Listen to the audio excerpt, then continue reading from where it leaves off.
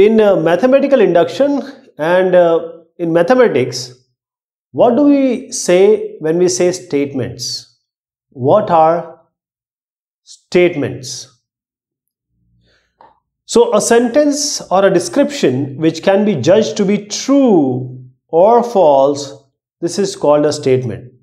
For example, 2 divides 6. Is it a statement or not?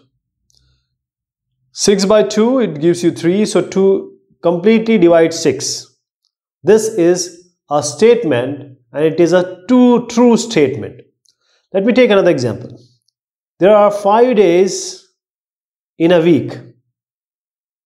Is it a true statement or a false statement? If you see 5 day week, no, there are 7 days. So this is indeed a statement but it is a false statement. So when we have talked about statements, let us see what are mathematical statements. Mathematical statements. So what are these mathematical statements? Statements involving mathematical relations, these are known as mathematical statements.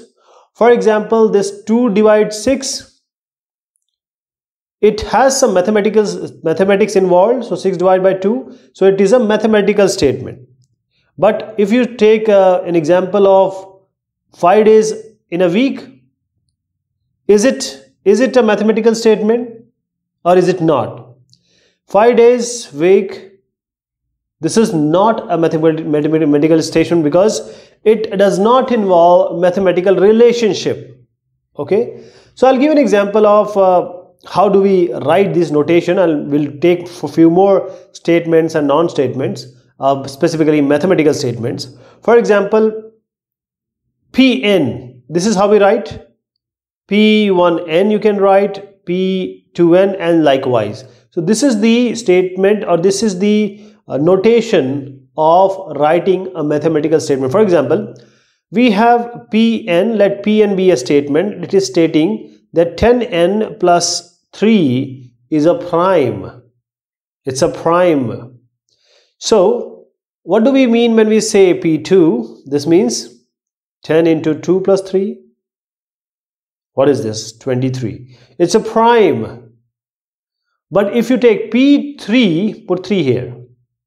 10 into 3 plus 3 33 it is not a prime it's it is divisible by 3 as well as 11 prime numbers are those which are only divisible by themselves or 1 now let us take uh, one more example before I can give you the pn and pn plus 1 stuff if you want to write pn and Pn plus 1. Now Pn is given by say 7 divides 2 to the power 3n minus 1. Now this is a statement. Now Pn plus 1 will be 7 divides 2 to the power 3. Here you put n plus 1.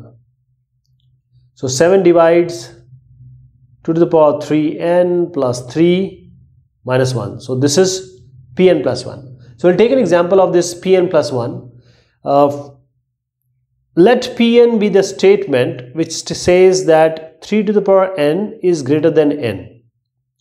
So we have to show that if this Pn is true, it is true for Pn plus 1 as well. How do we do this? So let us write the this Pn plus 1 first. It would be 3 to the power n plus 1 greater than n plus 1.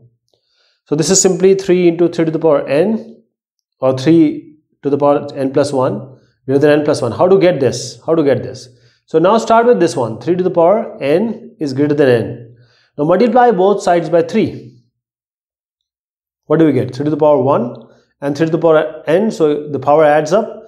3 to the power n plus 1 is greater than 3n. And this 3n can be written as 2n plus n. 2n plus n. But we know for every natural number, 2n will be greater than 1. You put 1, 2 is greater than 1. You put 2, 2 to the 4 4 is greater than 1 so this will always be greater than 1 so why not to write 1 here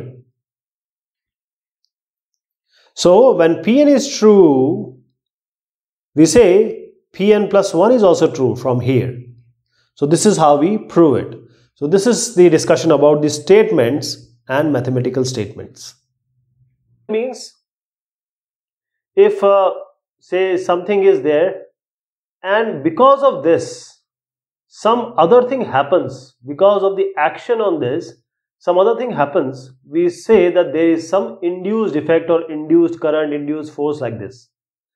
Same thing we are going to apply here the principles of mathematical induction. First we know that pn is the referenced statement and we are talking about natural numbers only so first condition is that P1 has to be true. That is whatever this expression is. If we put 1, that is if P1 is true, then for n equal to 1, it is true. Then we assume that this Pn is true and we try to prove it for Pn plus 1. So if any n is there, uh, we can prove it for n plus 1. We can always prove it for n plus 2 and this goes and on and on. So this is an induction effect. So this is the mathematical induction. Now problems which are based upon the first principle and second principle of mathematical induction is that we need to solve it using certain criteria. And to describe this criteria, let us take one example. The example is like this that we have to prove that this series 1 plus 4 plus 7 plus 3n minus 2 this is a series which is equal to half n 3n minus 1. So we have to prove by the principle of mathematical induction that for all which n that is capital n small n belongs to capital N for all these n natural number this holds or we have to prove that whether it is, this doesn't hold. So we'll start with the first step. The first step is simply we know that this is Pn now We'll check it for P1. So let us check it for P1. So now put here 1. For P1 this result will be 1. This is the left hand side. How about the right hand side? Let us put P1 also here. So half n is 1 and 3 into 1 minus 1. So do you get half? 3 minus 1 is 2. So you, sorry 1. So you get 1 here and you get 1 here. That is P1 is true. So now we assume we assume that this is true for the second step of mathematical induction is we assume that this is true for any k or any m. This is true for any m and when it is true for any m we can just write like this. Same thing 1 plus 4 plus 7. This is not true for any m. Now we need to prove it to be true for Pm plus 1. So let us write this in the form of Pm plus 1. 1 plus 4 plus 7. This is already there. Now we need to add one more term which is m plus 1. So we are writing here m plus 1. Here also let it be there. We'll prove it like this. Now from here to here this is already we have already said that this is true for PM. So for this, we can write this one. For this left hand side from here to here, we can write this right one. So we can write half m 3 m minus 1 in this place. And what do we get from here?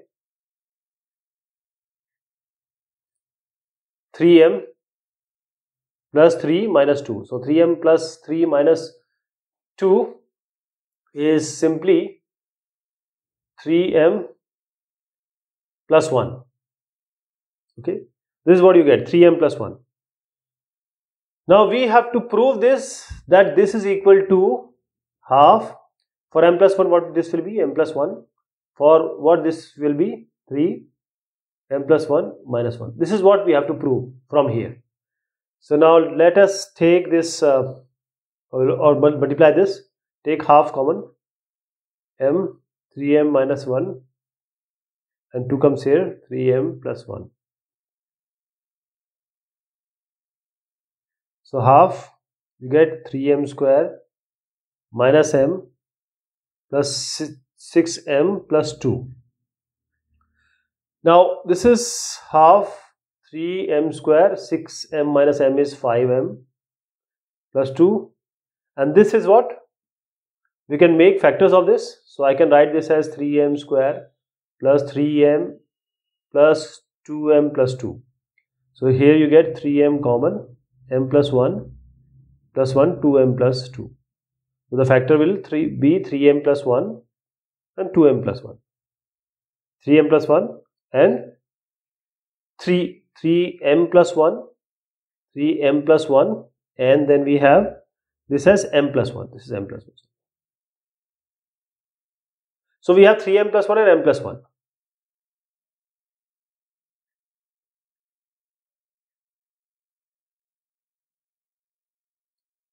now this can be written as half m plus 1 and this one is.